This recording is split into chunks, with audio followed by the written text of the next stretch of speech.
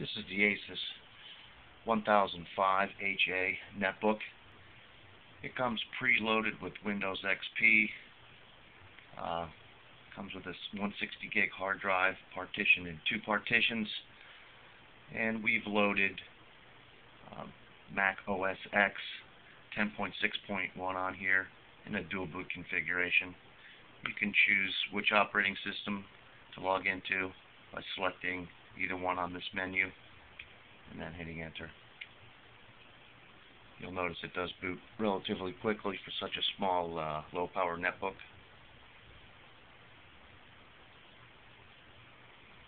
It's worth noting that Apple at this time doesn't make a netbook or have any plans to make a netbook. It's where the uh, the interest in something like this uh, is generated from.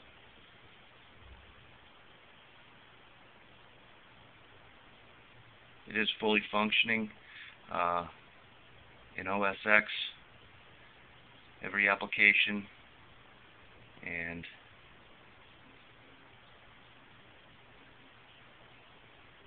function that would normally work in OS X works on this netbook.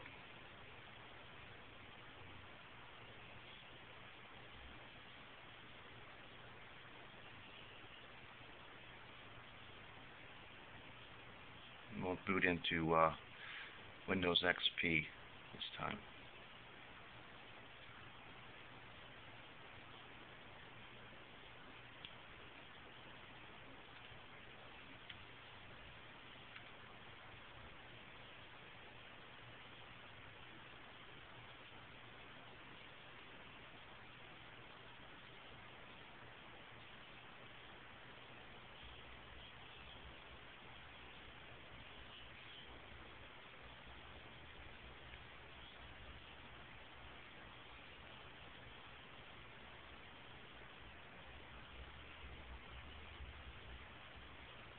And as you can see, it does cycle through the operating systems pretty quickly.